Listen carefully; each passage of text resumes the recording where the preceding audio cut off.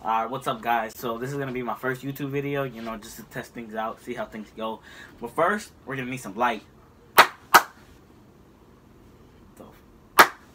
Alright guys, I know this is bummy iPhone quality, but uh, I had to move my phone to get um better lighting.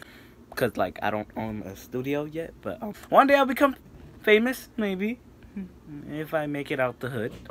But until then, I'll just make YouTube videos to help me there. I know it's a little boring, but I gotta think of stuff, you know? So.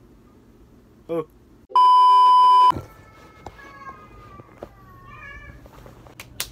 Kobe.